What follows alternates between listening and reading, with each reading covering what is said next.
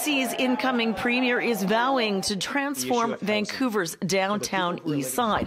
This, as the head of the union that represents local bus drivers, says members are reporting issues along East Hastings.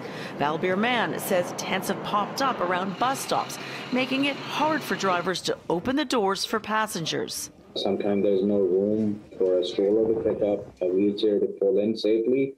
So it's just like in the vicinity of the bus stop area where it makes our job more difficult. And on the bus, Mann says there's increasing aggression aimed at bus drivers. There were some assaults happened beginning of the year. Our buses were being shot. We were not sure in the beginning what it was.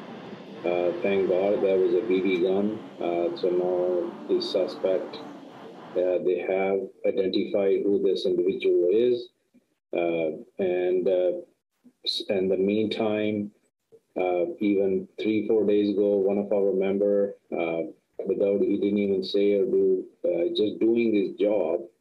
Uh, when we come from home, um, we come to do our job and go home safe. And he's doing his job.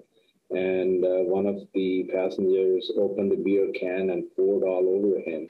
He says these kinds of incidents are becoming too frequent. And it was it's been very concerning from like long time, but it is it's sort of caught our uh, it's happening almost sometimes once a week.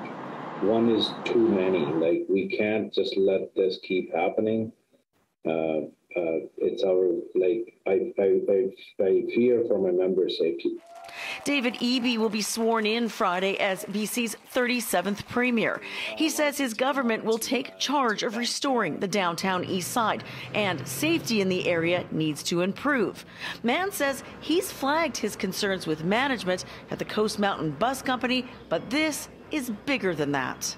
Obviously, these people need help, and uh, I mean, the the street is not a solution.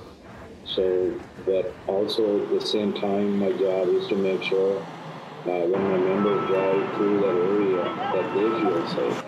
He says hard barriers on all buses would help. Right now, according to TransLink, just 60% of the fleet has them. We come to work to do our job safely, and as a as a as an employer, it's their responsibility to keep our members safe and it's my job also. I want to make sure my members feel safe. It, it, it's becoming a very, very like huge safety concern for us. In Victoria, Liza Yuzda, City News.